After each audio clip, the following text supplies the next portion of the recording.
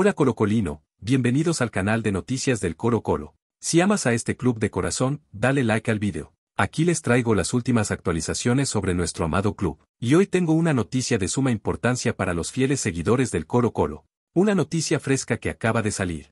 Pero antes de darte todos los detalles, quiero invitarte a suscribirte al canal y activar las notificaciones, porque todos los días traigo las últimas novedades del Colo Colo por aquí.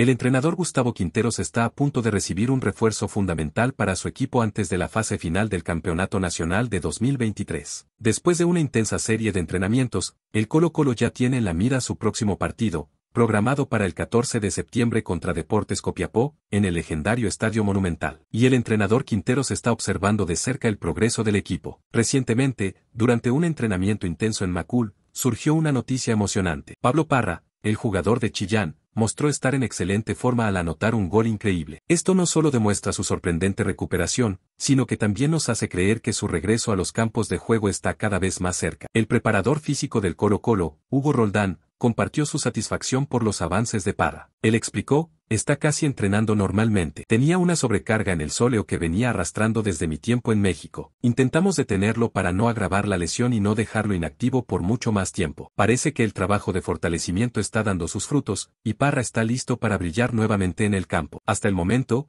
Pablo Parra ha tenido solo 10 minutos en partidos oficiales con la camiseta del Colo Colo, pero su regreso se espera con gran entusiasmo. El equipo se encuentra en la tercera posición de la clasificación, con 35 puntos, persiguiendo al líder Cobresal por solo 11 puntos. Con partidos pendientes contra Deportes Copiapó y Magallanes, el Colo Colo está listo para dar lo mejor de sí en las etapas finales de esta temporada. Bueno, aficionado blanco y negro, ¿qué te parece esta noticia? Siempre es importante que comentes para que el Colo Colo sepa lo que están pensando sus seguidores. Y, por supuesto, si llegaste hasta aquí, dale like al video para motivarme a traerte más noticias del Colo Colo hoy. Gracias.